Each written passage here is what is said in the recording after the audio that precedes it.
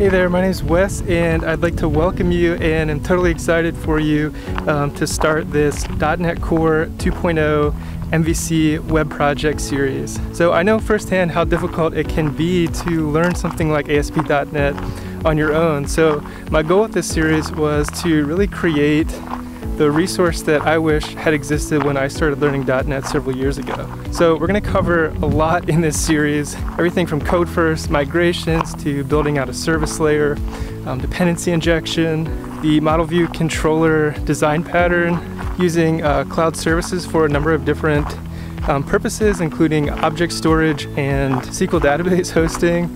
And we're even going to deploy the application at the end of the series to Azure App Services. There's definitely a lot to learn in this series, so I hope you're excited for it. I'm definitely excited to uh, go on this journey with you, and in fact, um, throughout the series, I'll be checking in occasionally um, so that we can kind of reflect on the progress that we're making as well as kind of give you an idea of where the series is headed.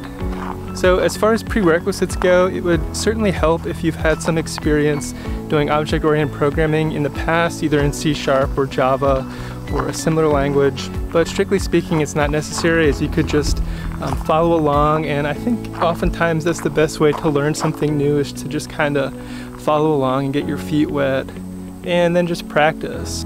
So one small word of encouragement I'd like to give you if you are coming at this as a brand new developer or perhaps you've just dabbled a little bit and are looking to get into web development is just to remind you that software development is difficult and it takes time um, to learn and it takes an incredibly long time to get good at. That's something that I work at every day and it's really that training process, the learning process um, that makes it all worthwhile and that makes it fun. So I guess that's about it. Uh, most importantly, I'd like to thank you and I'd also like to congratulate you on taking this first step towards learning .NET Core 2.0 for web development. So like I said, I'll be in touch throughout this series, so let's go ahead and dive right in and take a demo of the application that we'll be building in this series. Thanks.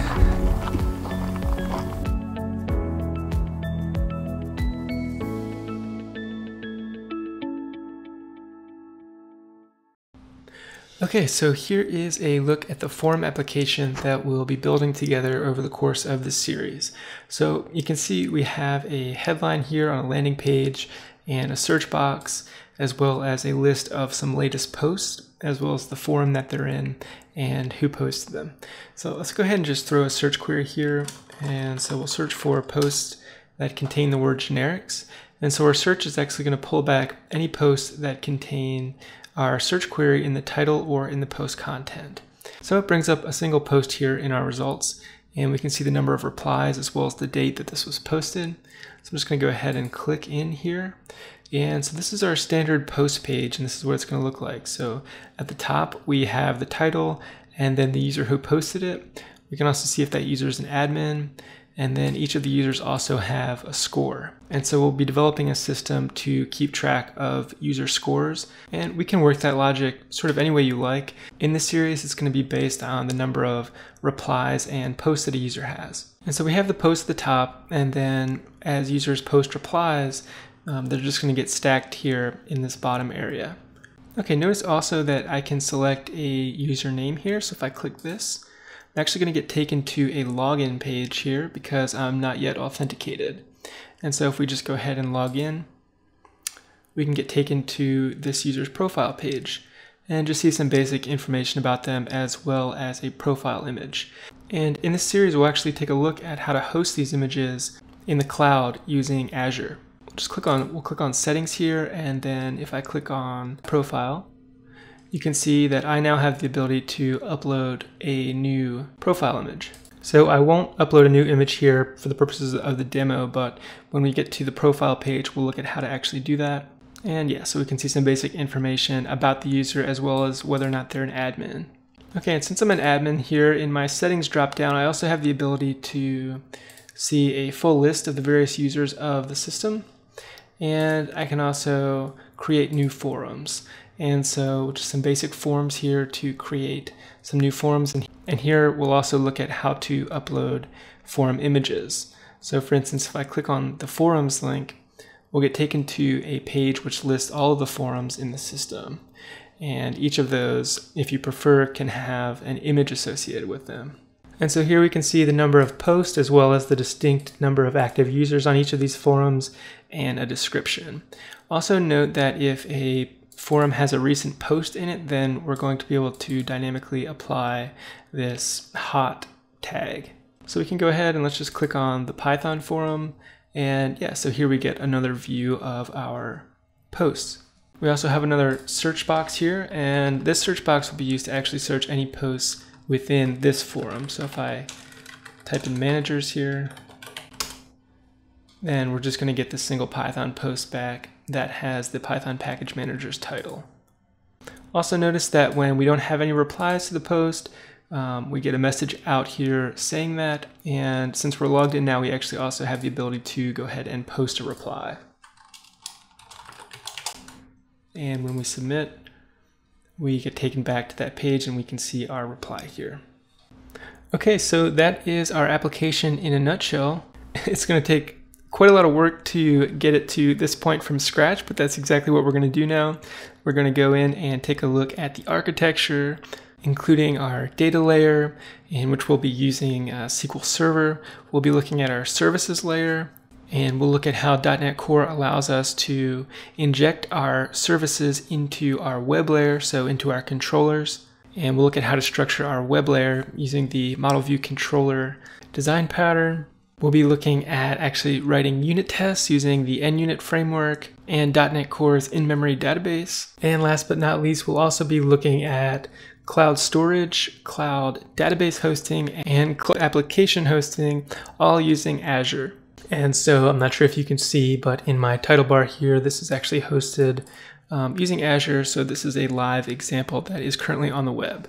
So as I said, we've got a lot of ground to cover, but we're going to try to cover everything in some detail in this course so that by the end you really will have done full stack development and completed a pretty substantial web application that will hopefully not only be useful for you as a developer, but perhaps even useful in general as an application that you might build on and expand in the future. So with that, let's go ahead and take a look at how to get this application started. And the first thing that we're going to do is actually install Visual Studio 2017 and SQL Server Management Studio. So let's go take a look. Okay, and since we'll be using .NET Core 2.0 for this series, you're going to want to make sure that you also have the .NET Core uh, SDK downloaded. And so if you just head over to microsoft.com slash net slash download slash core at this time anyway, and scroll down and just make sure that you install the correct installer for your operating system. So I'll be using Windows and so you can just go ahead and download the executable here and get the SDK installed. It's a pretty large file, so it may take some time, as with all the tools in this series, but that's going to be required for us to actually get started. Also, if you're interested, you can go ahead and select on one of these step-by-step -step instructions to kind of look at how to get set up. It's pretty simple, really. You just download the SDK and get it installed. And if you'd like to take it for a quick quick run, then you can actually um, run a simple application from the command line by following these steps here. So yeah, once .NET Core 2.0 is installed, we should be more or less ready to go. I should also note that the terminal that I'll be using in this video series is called Commander, and so you can check that out over at cmder.net if you're on Windows. This is a really nice console emulator. Um, it's going to allow us to actually run bash commands, which is a nice alternative to PowerShell, especially if you're coming from a Unix background or if you just prefer the Unix command set. So this is good to install. And also if you want to follow along completely, I'll also be using Git for version control throughout this series. And so if you'll be checking your code into a remote repository, which I would definitely recommend in this series, since we have a lot of code to write and to track, go ahead and make sure that Git is installed on your system as well. And again, if you're on Windows, you can install it with Git for Windows which is actually going to be packaged with Commander, or you can download it separately here. And Git for Windows is also going to come with its own uh, Git bash shell. Okay, with that, let's go ahead and fire up Visual Studio 2017. Okay, so in order to install Visual Studio, just head over to visualstudio.com and then select Download Visual Studio. And in this course, I'm just going to be using Community 2017 edition. And we'll just close this pop-up. And so hopefully you should just see a installer get downloaded. So go ahead and run that and get Visual Studio 2017 Community Edition set up. And that's what I'm going to be using to do all the development in this course, but it's also useful for doing things like web deploys. Okay, the next thing that you should have set up is Microsoft SQL Server Management Studio. This is also free. I'm using version 17.2. So just go ahead and download the latest version here.